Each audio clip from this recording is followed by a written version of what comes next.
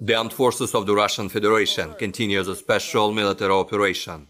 In Kupiansk direction, the enemy with two battalions reinforced by foreign mercenaries made an attempt to attack in the direction of Yagodnoye, Nikolaevka, Orlyanka of the Kharkov region and Kuzemovka of Lugansk People's Republic. The enemy was driven back to initial positions by fire and actions of Russian troops. Up to 150 Ukrainian personnel and mercenaries, 6 tanks, 5 infantry fighting vehicles and 10 vehicles were eliminated. In Krasny Liman direction, Russian troops employed long-range artillery, ground attack and dummy aircraft to fire on the enemy at distant approaches. The Ukrainian armed forces attempts to attack in the direction of Makeivka, Ploshchanka and Chervonopopovka of Lugansk People's Republic were foiled. As a result, about 250 Ukrainian personnel were neutralized, as well as two tanks, two infantry fighting vehicles, five pickup trucks and two motor vehicles. In Nikolaev Kryvyi Rog direction, the Russian troops impeded the Ukrainian attempts to break through in the directions of Ishchenka, Bruskinskoye, Sukhanovo and Petikatki of Kherson region. The enemy has been driven back to initial positions by fire and decisive actions of Russian troops. There were 105 Ukrainian servicemen neutralized, 2 tanks, 9 armored combat vehicles and 7 motor vehicles destroyed. The Ukrainian radar station for guidance and target designation of the S-300 anti-aircraft missile system was also destroyed. Operational tactical and army aviation, missile troops and artillery have neutralized the command post of the 15th Regiment of the National Guard of Ukraine in the area of Kirovsk of the Donetsk People's Republic, as well as 73 artillery units in firing positions, manpower and military equipment in 169 areas. During the counter-battery fight, a platoon of the Uragan MLRS of the Ukrainian armed forces was eliminated in the area of Malye Prohody in Kharkov region.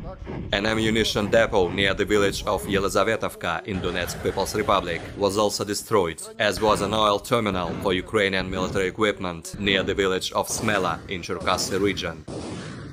Fighter aircraft has shot down one MiG-29 airplane of the Ukrainian Air Force near Pasika in Kharkov region. Over the past day, 12 Ukrainian unmanned aerial vehicles were shot down by air defense systems in the settlements of Snigirovka of Nikolaev region, Ishchenka, Verovka and Obrivka in Kherson region, Oborotnovka and Viktorovka in Lugansk People's Republic, Orlyanka, Vladimirovka and Grakovo in Kharkov region, as well as Polnoye in Donetsk People's Republic.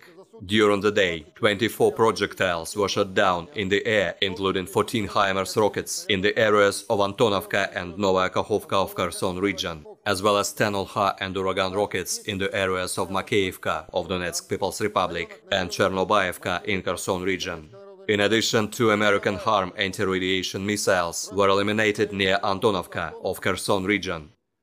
In total, 330 airplanes and 167 helicopters, 2,414 unmanned aerial vehicles, 384 air defense missile systems, 6,270 tanks and other armored combat vehicles, 881 combat vehicles equipped with MRLS, 3,544 field artillery cannons and mortars, as well as 6,967 units of special military equipment have been destroyed during the special military operation.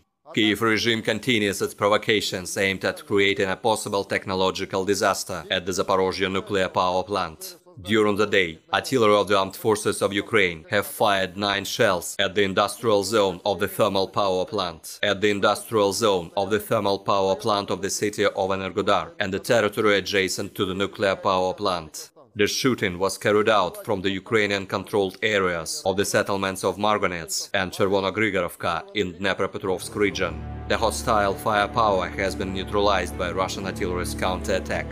The radiation environment at the Zaporozhye nuclear power plant remains normal.